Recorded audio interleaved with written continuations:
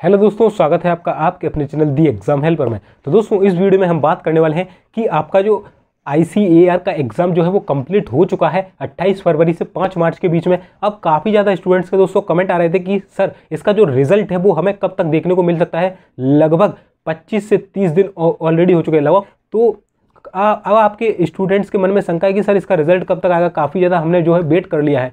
तो दोस्तों मैं बता दूँ देखिए इसका रिज़ल्ट बहुत ही जल्द आने वाला है। इसका जो रिज़ल्ट है आपको 10 अप्रैल से पहले पहले देखने को मिल जाएगा क्योंकि इसकी जो प्रोसेसिंग है काफ़ी फास्ट है। जैसा कि आपने देखा हुआ वो तो कोविड नाइन्टीन की सिचुएशन लग चुकी लग गई थी इसलिए वो एग्ज़ाम डिले हुआ था नहीं तो बीस जनवरी को ही कंप्लीट करा लेते। तो इस दोस्तों इसका रिज़ल्ट आपको 10 अप्रैल तक देखने को मिल जाएगा। दोस्तों जैसे ही इसका रिज़ल्ट आएगा मैं आपको तुरंत वीडियो बना के बता दूँगा तो उसके लिए आप चैनल को जो है जो है सब्सक्राइब कर लिए। चलिए दोस्तों इतना ही रखते हैं इस वीडियो में बाकी मिलते हैं फिर नेक्स्ट वीडियो में तो जय हिंद। जय भारत।